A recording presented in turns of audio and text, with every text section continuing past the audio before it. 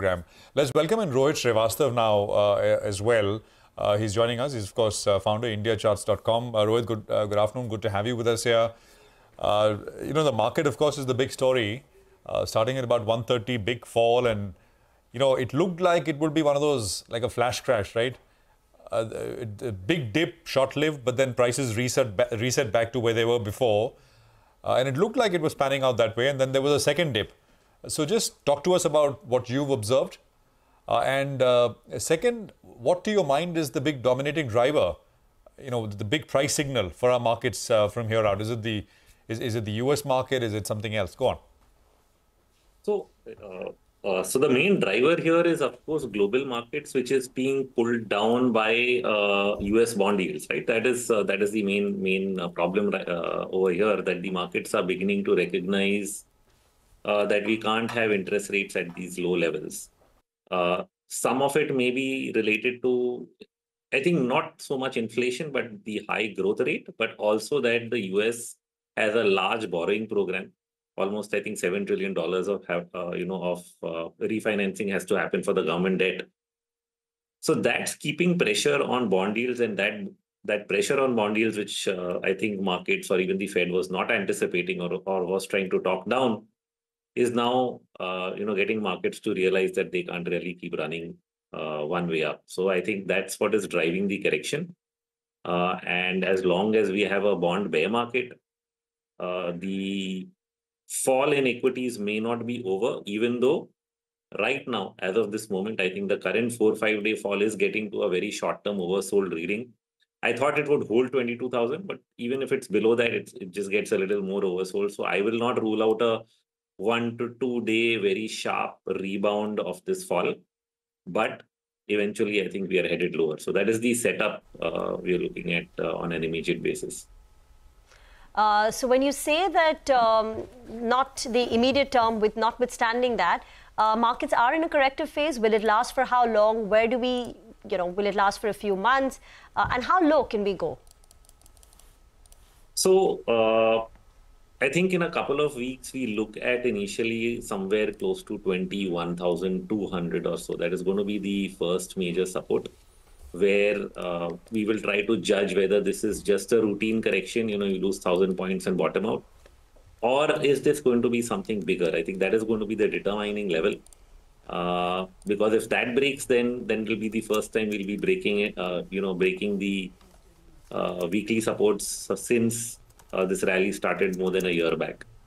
You know, so that has not happened. Uh, if you're looking for that final confirmation of a major reversal, you'll probably wait for that to break. But if I look at the structure of the market, it does give us early warning signs that this could be something bigger. So in that sense, I would be prepared for things to get, uh, you know, uh, uh, much worse than what we've been thinking.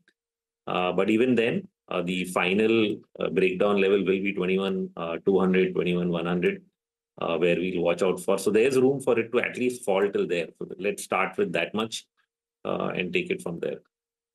Street will hope it doesn't go all the way there. Uh, you know, uh, for the Bulls' benefit ahead of elections. Uh, but, you know, the market's trying to inch back to that 22,000 mark, Rohit, with the Nifty Bank holding above that 47,000 mark. Let's see where it closes as, uh, you know, the, the, the, closing settles with the volume-weighted average price. Any individual names that stand out in terms of either an up move or a down move opportunity? I think there'll be a lot of down move opportunities. Uh, what has been happening so far is so much rotation that I've actually been uh, avoiding thinking too much about stocks because there are some, if you look at if you look at tech, like yesterday I just opened up LTIM and it's just consistently falling, falling, falling. So that is the tech sector. And somewhere if it's falling one way, then the tech sector gets oversold and you know you start wondering whether that will actually give you a counter trend move against the market. Uh, on the other hand, you have banking, which has been a non-participant throughout the year, and can it actually further uh, provide us that room for you know those opportunities on the short side as far as financials are concerned in general, not just banking, but I think uh, financial financial stocks overall, uh, because the, that is where even even the interest rates hit the interest rate sensitive sectors. So I would think of shorting financials, autos, uh, whatever gets hurt by higher rates uh, would be the areas of risk. Mm. uh, Rohit, uh, you know, the uh, if if we kind of let's just look at the other side, right? Is it is it uh, okay? It's 21, uh, 100, 21, 200. What you said, right? That's about three three and a half percent away from where we are right now. Yeah. I mean, so it would fall in that quote unquote routine uh, correction category, and we've had those uh, before as well. Uh, but uh, you know, on the other side, uh, and and for this to happen, do you think U.S. equities also need to pull back, or or or, not really? It looks like uh, I mean the U.S. equities also for the first time in about 15 months or so are starting to starting to pull back. Do you think that that needs to accelerate for your view here to play out? It looks like uh, because if we say the primary driver is uh, the US bond yields uh, rising, it will have an impact on US markets, and, that is what is trickling down to our market. the geopolitical and other angles, I think, are the sideshow, which usually is news that follows the, the trend that has already reversed. But I think that I think the macro factors are more critical over here than than just the geopolitics that that we are seeing. So uh, I think U- U.S. equities, which are at the center of that entire action, because that's where the debt and borrowing is taking place. And and and you know we've seen a couple of things from central banks, uh, which are which are red flags. One of them uh, is our own. Uh, I don't know how much importance has been given, but the RBI saying that you know you can't trade in currency derivatives anymore. Is sort of a panic, uh, a panic situation that you you reach. You know, why would you suddenly curtail something that you started in 2008 uh, unless you're perceiving that there's over speculation happening which if i go by the open interest there is no really sign of that happening because open interest in in usd inr futures has not really exploded to the upside where you should actually start panicking. In fact it's the futures open interest in stock and index futures that uh, is at 18 times the index, which is similar to what it was in 2018 and 2008, both of which were major tops for mid caps and small caps. So that is a bigger concern to me than currency. So if the if the RBI is panicking on the currency side, it tells you something that they are worried about uh, on the global front. And you've uh, similarly seen the Fed suddenly back off from the idea that they were to cut rates to saying that we need to stay higher for longer. You know, so it's sort of an acceptance that you know this is a very different environment. Uh, I think central banks try to use language to tone things the other way, but it didn't work. Uh, you know, their whole attempt to talk down interest rates uh, sort of failed. Is is what has happened. Okay. Although uh, Rohit, and we'll talk more about this. Uh, they can go. They can go the other way very fast as well, right? I mean, the last time the ten-year was at five percent was late last year, hmm. and that's the first time that uh, you know uh, the the the, the Fed, we started to hear them adjust their policy stance towards being more dovish. And that eased in financial condition, eased financial conditions quite a bit. And now we are here.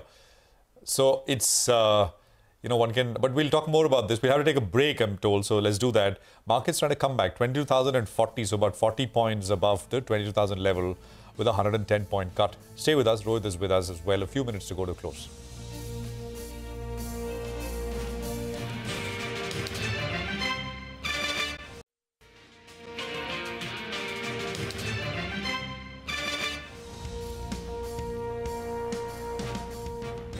Okay, welcome back. Uh, there's about two and a half minutes to go to close, and uh, we're counting down uh, 100 points lower. As I said, there's a bit of a recovery which actually set in. Rohit is still with us. Rohit, to that point we were talking talking about earlier about uh, you know, uh, you know, one thing is sure, everyone ma- wants markets to be higher, especially in an election year. It doesn't matter uh, Republicans or Democrats in the U.S. so if conditions were to become sort of a little under pressure, and the definition of what is under pressure has become uh, very, very lenient now, right? Three, four, five percent, and the market starts to think about when intervention will come next.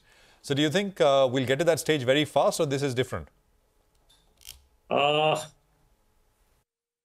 so, uh, so all, all the all the comparisons are being done with what happened in the 60s and 70s, which is the last inflationary cycle.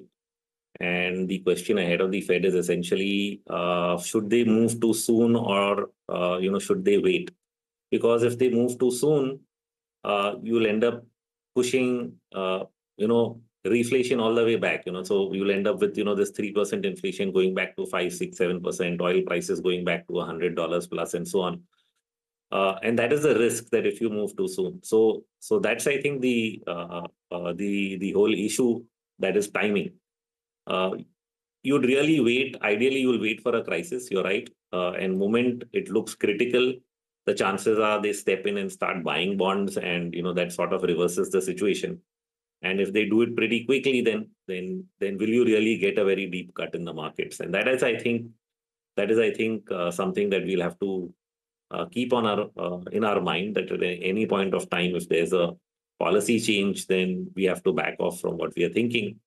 But can they really move that quickly on policy? Uh, uh I'm really wondering because you're still you're still not gotten full control, and uh, on the other hand, this is slightly different from 2018 where they you know turned quickly because you have government spending as the big handle.